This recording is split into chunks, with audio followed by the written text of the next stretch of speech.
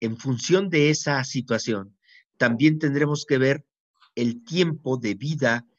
estrictamente útil de las bases de datos personales que hubiesen recogido la condición de personas que eh, tuvieron eh, la experiencia de dar positivo al COVID, esta encrucijada del dato personal en situaciones de salud, pero en situaciones de salud que siempre será fuente permanente de reflexión y de, y de comparación de ideas, sino especialmente frente a un fenómeno que no habíamos vivido los habitantes del planeta de este tiempo. Y creo que la cumbre global de la privacidad tendrá que tener en su epicentro, en su centro de agenda, las consideraciones técnicas, científicas y académicas, pero también las prácticas, las pragmáticas, las que demuestran